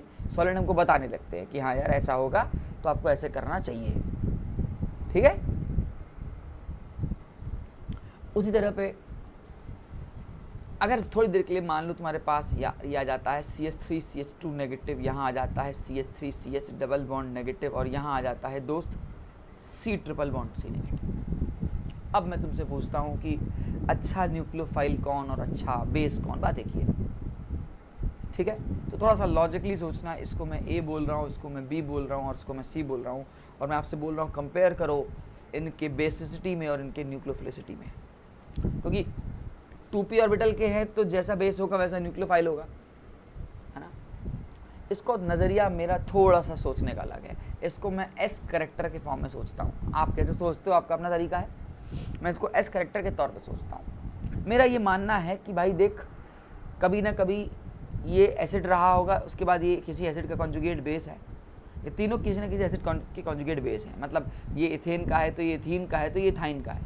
ये सारे एसिड के लूज किए हुए कॉन्जुगेट बेसिस हैं। अब यार, अगर कोई कॉन्जुगेट बेस ऑलरेडी स्टेबल है लॉजिकली सोचना, अगर कोई कॉन्जुगेट बेस ऑलरेडी स्टेबल है तो क्या वो वापस अटैक करने जाएगा? बोलेगा, यार, मैं तो जन्नत नसीब करके अभी आया हूँ, और तुम फिर मुझे बोल जाओ भैया रिएक्शन करो। कुछ तो आराम करने दो भैया मेरे। है कि नहीं? अगर मैं ए को सी से पूछता हूँ तो सी बोलेगा, यार, मैंने ना अपना एच प्लस दे दिया, मुझे दर्द हो रहा है, मुझे दुख है। क्यों दुख है? क्योंकि मैं उतना स्टेबल कॉन्जुगेट बेस नहीं हूँ। जबकि मैंने C triple bond C minus से पूछा, कहा हाँ यार, कोई नहीं, जान दे। एस करेक्टर वैसे मेरा बहुत तगड़ा है। देखो एस करेक्टर हो तो बहुत उछल रहे हो, क्या बात है? कह रहे, देख भाई, मेरे एस करेक्टर ज़्यादा होगी तो इलेक्ट्रोनेगेटिविटी ज़्यादा होगी। इसका मतलब मैं नेगेटिव चार्ज को होल्ड कर सकता हूँ, मुझे उतना गम नहीं है। और गम नहीं है तो मैं स्टेबल हूँ स्टेबल हूँ तो क्यों जाऊँ अटैक करने? है कि नहीं? मैं अटैक करने क्यों जाऊँ? अटैक करने तो वो जाएगा ना, जिसको ज़रूरत पड़ रही है कि हाँ भैया यहाँ से निकालने के बाद आग के फंस गए, अब कहाँ जाएँ? तो ए वाला जो है, वो मजबूरी में आपका एज अ न्यूक्लियोफाइल अटैक करने के लिए रेडी हो जाएगा। लेकिन सी वाला मना कर देगा, नहीं यार, नहीं करना है। इवन इवन बेस के फॉर्म में भी यही होगा। अगर मैं बोलूँ कि एच प्लस खाओगे, कह रहा पगलवा गया होगा, अभी तो एच प्लस खा, छोड़ के आए, फिर से एच प्लस खा ले का। इससे पूछ लो, कहाँ यार, मुझे दर्द हो रहा है यार? ए बोलेगा। है कि नहीं है? अभी तो यार लूज तो किया, लेकिन स्टेबिलिटी फीलिंग नहीं आ रही है। काश मेरा एच प्लस मुझे वापस मिल जाता। एक मन की फीलिंग है। ये मेरा अपना सोचने का तरीका है। तो मैं मैं कहूँगा कि ए बी सी में अच्छा न्यूक्लियोफाइल कौन सा हो जाएगा? A then B and then C nucleophile बोलो बेस बोलो। ठीक है? यहाँ पे ये काम करेगा। ठीक है? क्लियर कट है। मेरी बात थोड़ी समझ में आ रही होगी। है ना? ऐसा नहीं है कि नहीं जाएगा। देखो, मजबूरी में सब कुछ केमिस्ट्री है यार। रिएक्शन होती है, तगड़ा न्यूक्लियोफाइल काम कर सकता है। ये कंपेरिजन वर्ड है। मैंने यहाँ पे कंपैरिजन वर्ड यूज़ किया है। है ना?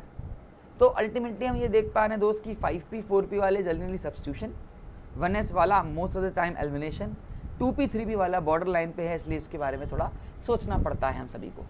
तो क्राउडिंग भी देखते हैं, फिर देखते हैं स्कैटर भी देखते हैं, बहुत सारी चीज़ें देखते हैं। ठीक है?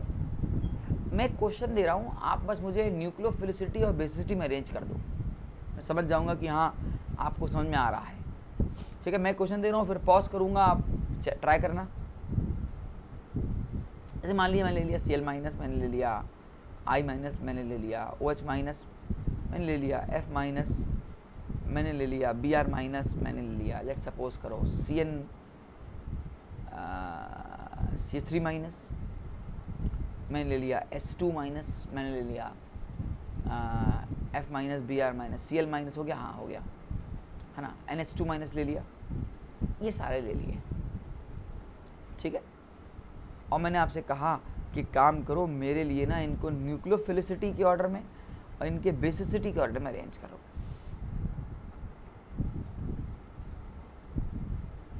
ठीक है? कि कौन अच्छा न्यूक्लियोफाइल कौन अच्छा? पलट मत देना भाई, क्योंकि यार टॉप से बॉटम तो ठीक है इन्वर्स रिलेशन है, लेकिन लेफ़्ट से राइट डायरेक्टली का रिलेशन है। इसलिए इतनी बुद्धि मत लगा देना ज़्यादा वाली। कि न्यूक्लियोफिलिसिटी निकाल ली, पलट दिया, सर बेसिसिटी लो परस दिया। सर आपके सामने बेसिसिटी हम दे दी। ऐसा मत करना। ठीक है ना? चलो वीडियो को पॉज करो, सोचो टाइम लो, फिर हम आगे बढ़ते हैं।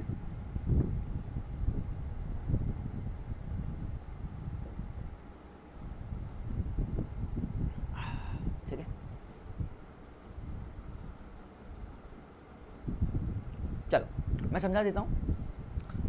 देखो, ऐसे कभी भी सवाल आए और आपसे बोले कि ऐसा अरेंज करो और मुझे बताओ कि फर्दर प्रोडक्ट में रिएक्शन प्रोडक्ट क्या बनेगा। तो इसके लिए आप ऑर्बिटल पहले चुन लो। ये कौन से ऑर्बिटल से बिलोंग कर रहा है? ये किससे बिलोंग कर रहा है? ये आपका बिलोंग कर रहा है आपका थ्री पी से। ये बिलोंग कर रहा है फाइव पी से। ये टू पी से दोस्त, ये भी टू पी से दोस्त। ये दोस्त फोर पी से बिलोंग कर रहा है। ये टू पी से, ये थ्री पी से एंड ये टू पी से। सबसे पहले अगर मैं न्यूक्लियोसिटी देख रहा हूँ तो मैं देखूँगा क्या? ऑर्बिटल फाइव पी किसके पास है? आई माइनस वाले के पास. उसके बाद आएगा फोर पी आ जाओ भाई four P B R minus के पास. अब आ जाओ थ्री पी अब थ्री पी के दो दो है आराम से यहाँ पे. यहाँ पे आराम से. एक सी एल है और एक एस माइनस है. अभी मैंने बात किया था, आपको पता भी होगा कि एस टू जो है ग्रुप सिक्सटीन का है और C L minus group seventeen का है. तो लेफ़्ट से राइट जाएँगे. तो न्यूक्लियोफिलिसिटी भी घटती है और बेसिसिटी भी घटती है। मतलब एस टू माइनस ज़्यादा अच्छा न्यूक्लियोफाइल हुआ S comparison to C L minus के अब फिर वही काम अपन लोग किसमें कर देंगे? टू पी वाले में कर देंगे। टू पी में कौन है? एक, ये दो, ये तीन और ये था तो जो लेस इलेक्ट्रोनेगेटिव है, वो अच्छा हो जाएगा। तो यहाँ आएगा सी एस थ्री माइनस यहाँ आएगा। उसके बाद कौन आएगा भाई? उसके बाद ओ एच माइनस नहीं sorry N H two minus उसके बाद ओ एच माइनस दोस्त और लास्ट में तुम्हारा आ जाएगा।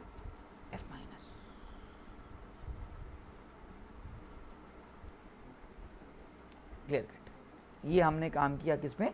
न्यूक्लियोफिलिसिटी के अंदर काम किया।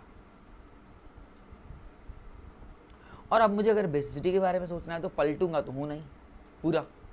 बट हाँ जितना अच्छा वो न्यूक्लियोफाइल उतना अच्छा वो बेस है ना? है ना? जितना अच्छा वो न्यूक्लियोफाइल उतना अच्छा वो बेस तो अगर टू की बात कर रहा हूँ तो यार, वो कब? जब आप पीरियड में देख रहे हो। तो ये इधर N H two minus O H minus F minus अब क्या आएगा ध्यान से? सी एल माइनस या एस टू माइनस तो answer is S two minus यार। है ना? अच्छा न्यूक्लियोफाइल अच्छा बेस और उसके बाद तो फिर बी आर माइनस और लास्ट में आई माइनस तो ये इसका रिवर्स आंसर नहीं है दोस्त। ठीक है? तो ये मत करना जल्दी जल्दी में कि पलट दो। तो ये तरीका होता है कि आप न्यूक्लियोफिलिसिटी और बेसिसिटी को ऐसे पहचान सकते हो by the help of orbital rule orbital concept ठीक है? फिर बोल रहा हूँ कि सिर्फ़ ये कंसेप्ट नहीं है, और भी कंसेप्ट है। अगला कंसेप्ट आता है हमारा रोल ऑफ़ सॉल्वेंट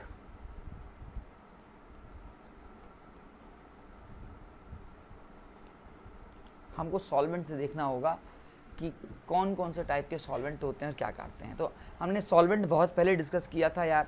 दो तरह के सॉल्वेंट होते हैं, एक पोलर और एक नॉन पोलर और पोलर में भी दो होते हैं पोलर प्रोटिक और पोलर ए प्रोटिक तो मैं ज़्यादा डेप्थ में तो नहीं जा रहा हूँ क्योंकि बहुत ज़्यादा डिस्कस हो चुका है आपसे।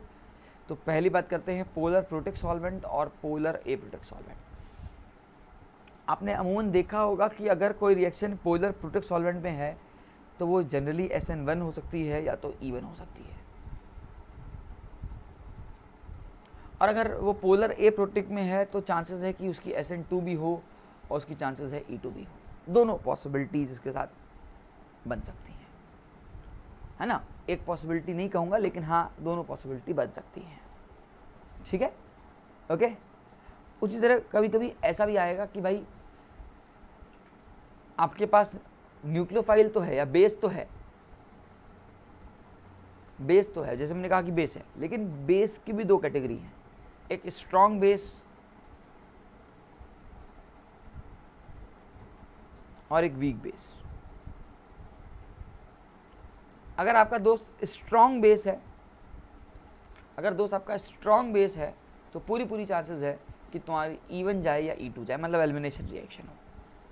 लेकिन अगर आपका वीक बेस है तो पूरी पूरी चांसेस है क्या दोस्त कि एस एन वन जाए और एस एन टू जाए। और इवन अगर S N one S N two में भी जाना है तो आपने आयनिक और न्यूट्रल न्यूट्रल पढ़ा होगा कि भैया ओ एच माइनस और पानी। तो ये मेरा न्यूट्रल है और ये मेरा आयनिक है। है ना? पढ़ा नहीं बात? तो ये ज़्यादा डोमिनेटेड होगा तो एस एन टू के लिए ये ज़्यादा अच्छा है और एस एन वन के लिए ये ज़्यादा अच्छा है। तो ये और इनडेप्थ हो जाएगी कि एस एन टू में भी तुम्हें देखना है। अभी तो हम सब्सटीट्यूशन एलिमिनेशन में देख रहे हैं, लेकिन अगर हम सब्सटीट्यूशन के अंदर भी देखना चाहते हैं, तभी हम देख सकते हैं। That is the beauty of the chemistry कि आप इनडेप्थ नॉलेज रख सकते हो कि हाँ यार, ऐसा होगा तो ऐसा करेंगे। इस तरह, अगर बेस की मैं बात कर रहा हूँ तो यार कभी कभी बल्कि बेस लिखा होता है, बहुत बल्कि होता है, बहुत फ़ेमस रिएक्शन है। बल्कि बेस होगा, जैसे लिख देगा tertiary butoxide ion T B U O K से लिखा होगा। अब आधे लोग तो पता नहीं सोचते हैं पता नहीं क्या लिखा है। टी बी यू के टर्सी बुटॉक्साइड आयन मतलब इतना बल्कि है ना टर्सी मतलब है कुछ नहीं यार थ्री डिग्री के हैं। ठीक है? ये कुछ ऐसा है। ओ माइनस ले लिया के प्लस ले लिया। तो ये इतने बल्कि हैं कि ये हमेशा क्या करेंगे? बेस की तरह काम करेंगे। और बेस होगा तो एलिमिनेशन होगा। और एलिमिनेशन में भी जनरली हम लोग ई टू प्रेफर करने लगते हैं यहाँ पे। ठीक है? बाकी आप हीट से भी पहचान सकते हो। ठीक है? हीट से भी पहचान सकते हो कि कैसा नेचर है। इसके अलावा कभी कभी लिखा होगा एल्कोहलिक केवच और कहीं लिखा होगा एक्वस केवच तो जब एल्कोहलिक लिखा होगा तो मतलब ये इथेनॉल प्रेजेंस हो गया या कोई भी हो गया तो इस केस में आप जो है एलिमिनेशन रिएक्शन प्रेफर करते हो। है ना? इवन ई टू की बात कर रहा हूँ मैं। और अगर आपके पास एक्वस है तो मतलब ये पानी प्रेजेंस में है तो तगड़ा न्यूक्लियोफिलिसिटी आ जाएगी। मतलब आप S N two reaction most of the उसमें फेवर कर सकते हो। ठीक है ना? तो ई e टू और एस एन टू आप दोनों प्रेफर इसमें आप कर सकते हो। अगर आपको एल्कोहलिक कीवेज और एक्वस कीवेज दे रखा हो तो। दोस्त, ये सारे फैक्टर्स थे जो मुझे लगे कि अगर मैं आपको बता दूँ तो आप कर जाओगे कुछ ना कुछ तो। है ना? इतनी सारी बातें हमने आपसे डिस्कस की। एक आध एग्ज़ाम्पल ले लेते हैं। आइए जैसे मान लीजिए थोड़ी देर के लिए। मैंने ले लिया ये।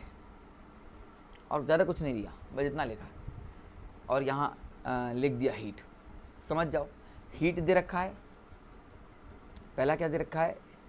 हीट दे रखा है। दूसरा क्या दे रखा है? पुअर एलजी दे रखा है।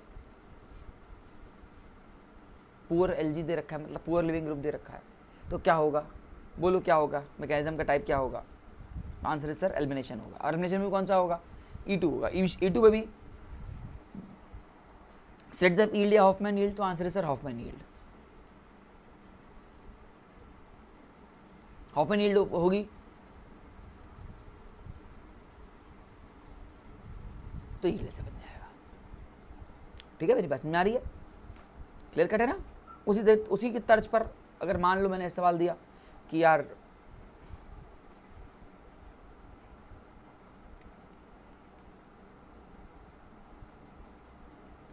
दिया और यहाँ लिख दिया।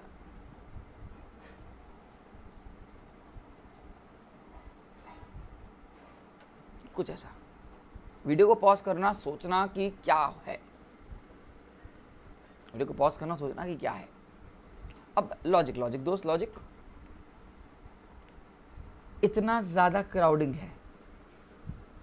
तुम बताओ, क्या ई e टू सोचोगे? क्यों नहीं सोचोगे? हाँ सोच सकते हो। क्या एस एन टू सोचोगे? सर, नहीं सोचूँगा। एस एन टू तो दूर दूर नहीं सोचूँगा। सब्सटीट्यूशन सोचना ही नहीं चाहिए।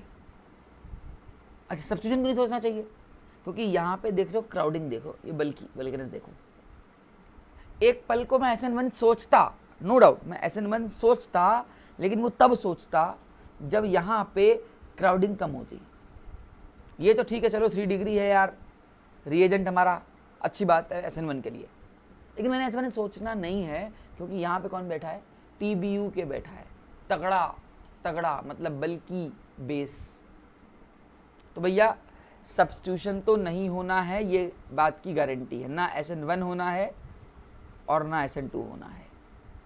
तो होगा क्या? बचता है तो एलिमिनेशन है। अब अगर तो तुमसे बोलता है सिर्फ़ प्रोडक्ट बनाया तो तुझसे क्या मतलब उसे कि तुझे एलिमिने इवन होना है कि ई टू होना है? है ना भाई? मेरी बात समझ पा रहा है? अगर तो उसने कहा, भैया, मुझे प्रोडक्ट बना के दो, मुझे मतलब नहीं है। तो तुम्हें क्या फ़र्क पड़ता है? तुम्हें तो इतना पता है अल्कीन बनेगा कि भैया, ये मेरा अल्फ़ा है और ये मेरा बीटा है, मैं अल्फ़ा बीटा से डबल बॉन्ड निकालूँगा। और मेरा काम सेट है सर लेकिन अगर मन में ये भी कुछ नहीं मच रही है कि, सर इवन रखें या ई e टू रखें तो अगेन यार, अभी बात की बहुत ज़्यादा बल्कि बेस हो जाएगा तो आप ई टू प्रेफर करोगे। ठीक है? आप बल्कि बेस हो जाएगा तो ई टू प्रेफर करोगे। लेकिन अगर यही चीज़ मैं दे दूँ ना ऐसे,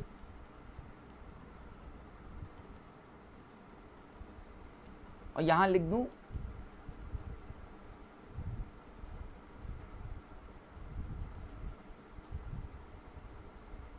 A C S three O H है और यहाँ हीट लिख दूँ। अब क्या करोगे? अब देखो एस एन टू तो मत सोचना गलती से भी रिएजेंट थ्री डिग्री का है। एस एन वन सोचा जा सकता था या है। अगर यहाँ को देखें तो एस एन वन है, लेकिन भाई साहब दोस्त उसने खुद ही दे दिया कि यहाँ हीट हो रही है।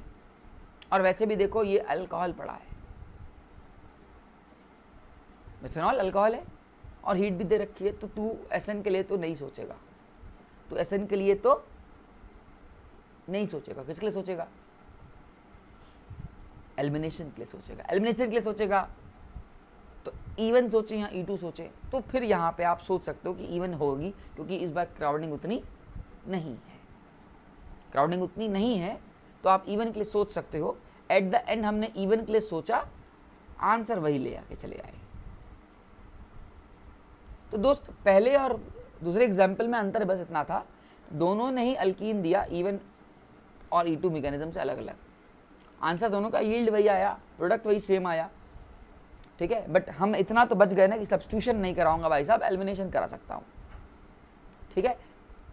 एक एग्ज़ाम्पल देता हूँ। ये क्वेश्चन आया हुआ है जेई का क्वेश्चन है। उसने बस पूछा था कि नंबर ऑफ़ पॉसिबल प्रोडक्ट बताइए।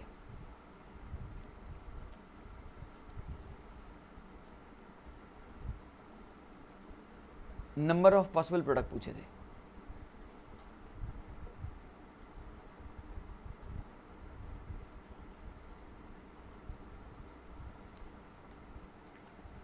ठीक है?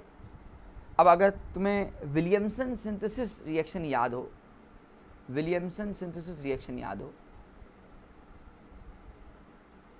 तो ये वो रिएक्शन का एग्ज़ाम्पल है। मतलब मुझे मतलब ही नहीं है नाम से तो फ़िलहाल। हमें तो मतलब है मेरे को कितने प्रोडक्ट बन सकते हैं। देखो दोस्त, ये टू डिग्री का है।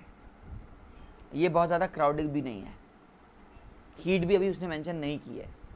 तो सुनो, मैं सही बता रहा हूँ। एस एन वन भी पॉसिबल है एस एन टू भी पॉसिबल है ई वन भी पॉसिबल है और ई e टू भी पॉसिबल है। लेकिन अगर मैं ज़्यादा ना सोचूं, ये सोचूं कि नंबर प्रोडक्ट बता तो मैं या तो सब्सटीट्यूशन से बनाऊँगा या तो एलिमिनेशन से बनाऊँगा, दोनों से बनाता हूँ। तो अगर मैंने इसी क्वेश्चन में सब्सटीट्यूशन लगाया, इसी क्वेश्चन में मैंने सब्सटीट्यूशन लगाया,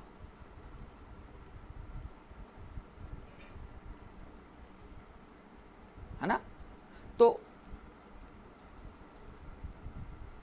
कहानी कुछ ये हो जानी है क्या?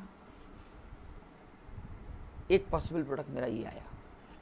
प्रोडक्ट नंबर वन ठीक है? माइग्रेशन का कोई रोल नहीं है एस एन कर भी दोगे तो तुम्हें मिलना मिलाना कुछ नहीं है। कार्बोकटाइन उससे ज़्यादा स्टेबल हो नहीं सकता। यहीं पे ऑलरेडी स्टेबल बैठा है। तो उससे ज़्यादा स्टेबल तुम क्या कराओगे? है कि नहीं है? लेकिन अगर अगर मैं इसको एलिमिनेशन के फॉर्म में सोचता हूँ, इसी चीज़ को तो यार जिस पे हेलोजन लगा है वो अल्फ़ा बगल वाला बीटा अब ध्यान से ध्यान से, एकदम ध्यान से। इसने काम किया एज अ बेस का। जब बेस का काम किया तो ये हाइड्रोजन हो गया होगा। इस हाइड्रोजन को ये एब्स्ट्रैक्ट करके निकल गया। तुम्हारा एक बना इथेनॉल है ना? एक बनी तुम्हारी क्या? एक बनी तुम्हारी क्या? अल्कीन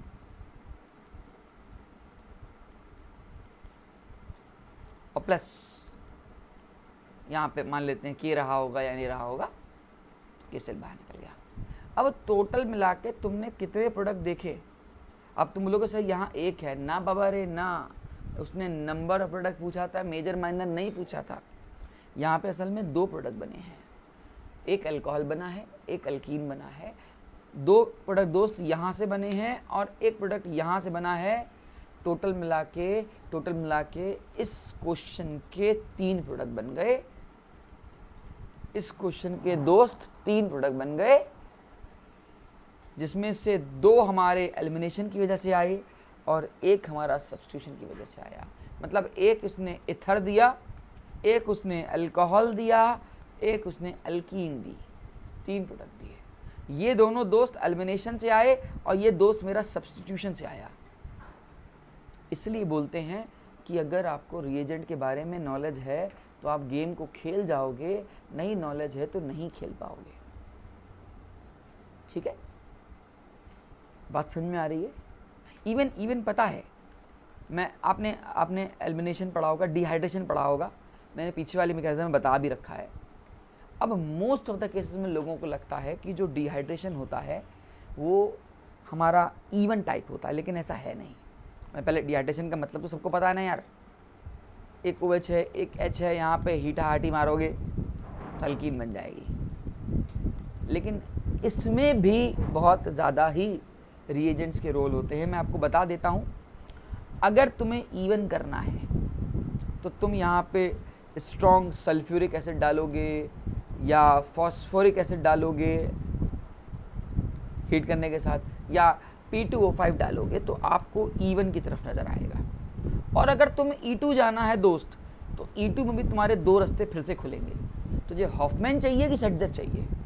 अरे भाई साहब, तुझे सेटजेफ चाहिए कि तुझे हॉफमैन चाहिए, इसका भी मैटर कर जाता है। मतलब इतना ज़्यादा इंपॉर्टेंट है यार ये कि अगर तुम्हारे पास Al2O3 है और हीट है, और एक होता है डब्ल्यू ओ टू ठीक है? W वेलेंडियम हाँ वो ओ थ्री है सॉरी यार, ठीक है ना? ये आपका सेटजेफ में जाएगा। जबकि POCl3 है Cl3 है, या थॉरियम ऑक्साइड है THO2 ये दोनों तुम्हारे क्या दिखाएँगे? हॉफमैन दिखाएँगे। अब याद करोगे तो मज़ा आ जाएगा, तुम्हारा काम हो जाएगा। एक एग्ज़ाम्पल देता हूँ, एक क्वेश्चन करूँगा, तीन अलग अलग आंसर लाऊँगा जस्ट बिकॉज़ ऑफ़ इनके वजह से। दिखाता हूँ, दिखाना हूँ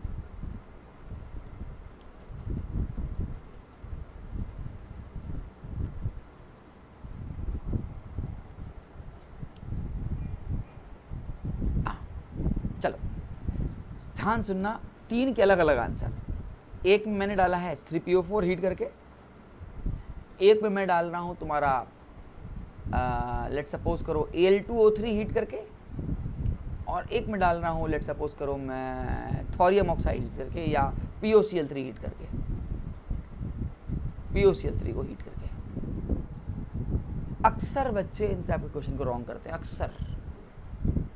क्योंकि ये याद नहीं था हमको अब ये जाएगा इवन इवन जाएगा तो कार्बोकटाइन बनेगा और शिफ्ट की पॉसिबिलिटी है। ठीक है? शिफ्ट की पॉसिबिलिटी है। ठीक है? इसमें मुझे एक बार को सोचने दो कि हाँ हाँ मुझे मुझे मुझे इसको ऐसे कर देना दोस्त यार। क्योंकि थोड़ा सा प्रोडक्ट डिस्टर्ब कर सकता है। मुझे बस एक सेकंड दो यार।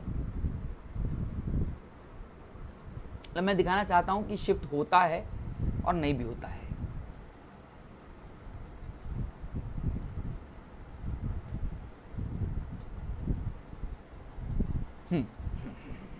अब लगभग लगभग कुछ जो, जैसी मैं उम्मीद कर रहा हूँ, वैसा मैं प्रोडक्ट उम्मीद कर सकता हूँ। या इसको यहाँ कर दूँ?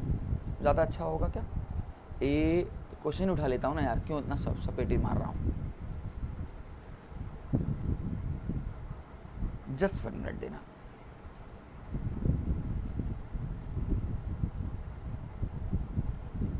ये दे रखा है क्वेश्चन उन्होंने। हमसे बोला है कि मुझे ईल्ड दो अलग अलग कंडीशंस पे। तो पहले अगर मैं इसकी सोचता हूँ तो कार्बोकटन यहाँ बनेगा। कार्बोकटन यहाँ बनेगा। हाइड्राइड शिफ्ट होके कार्बोकटन यहाँ पहुँचेगा। फिर से एक शिफ्ट होके कार्बोकटन यहाँ पहुँचेगा। और जब ये कार्बोकटन यहाँ पहुँचेगा तो उसके बाद जब डबल बॉन्ड बनेगा तो कुछ दोस्त ऐसा बन जाएगा।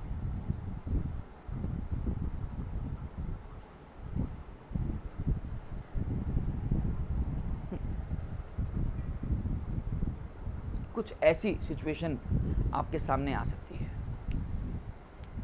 है ना? आपने कुछ नहीं करना। आपने कुछ नहीं करना। कार्बोकटाइन यहाँ लाया है। हाइड्राइड शिफ्ट करके कार्बोकटाइन यहाँ पहुँचा। फिर मिथाइल शिफ्ट करके कार्बोकटाइन यहाँ पहुँचा तो मिथाइल यहाँ आया। डबल बॉन्ड बन गया। एग्जैक्टली है ना? एग्जैक्टली बन गया। ठीक है। हो जाएगा मतलब। एक प्रोडक्ट आपका ये आया एल टू ओ थ्री ये तो ईवन से आया L two O three L two O three तुम्हारा हो गया ई टू ई टू में भी कौन सा? सेटजेफ यहाँ पे मेरे ख्याल से सेटजेफ का और हॉफमैन का ज़्यादा फ़र्क नहीं पड़ना चाहिए, क्योंकि मेरे पास एक ही ईल्ड है। तो यहाँ पे अल्फ़ा ले लेते हैं यहाँ पे बीटा ले लेते हैं मतलब ये वैसे का वैसा ही रहेगा। है ना? इसमें शिफ्टिंग नहीं होगी। और इसमें भी वही आंसर आएगा दोस्त, क्योंकि माइनर मेजर का प्रोडक्ट लिया नहीं। मतलब अगर मैं थोड़ा सा क्वेश्चन और अच्छा लेता।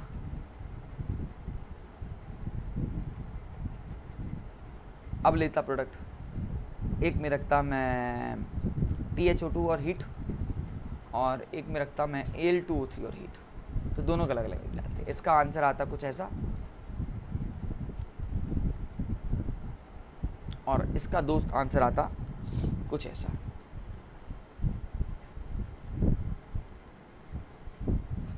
है ना? मेरी बात क्लियर कट है? समझ आ रही है? तो हम ये देख पा रहे हैं कि कहाँ पे कौन सा ईल्ड बन रहा है, कब बन रहा है, कैसे बन रहा है, और ये सारी चीज़ें आपको क्वेश्चन के लगाने से एक्सपीरियंस से आएगा।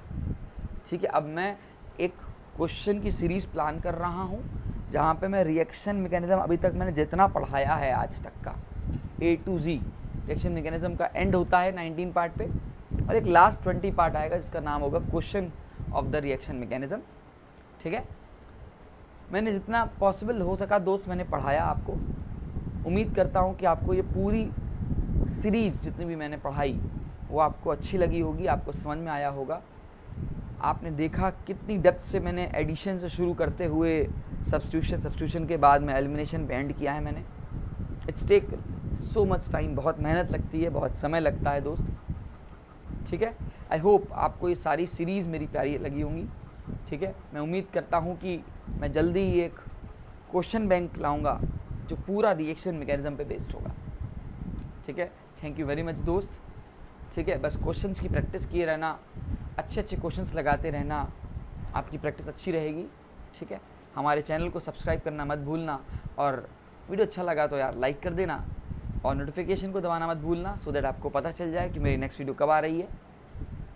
एंड मोस्ट इंपॉर्टेंट इस कोड को याद रखना, ये कोड आपको 10 परसेंट का इंस्टेंट डिस्काउंट दिला सकता है। ठीक है दोस्त? Thank you very much thank you thank you thank you